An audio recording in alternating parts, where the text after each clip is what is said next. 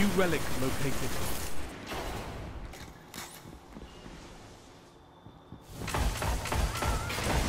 Heavy ammo on the way. Guardian down.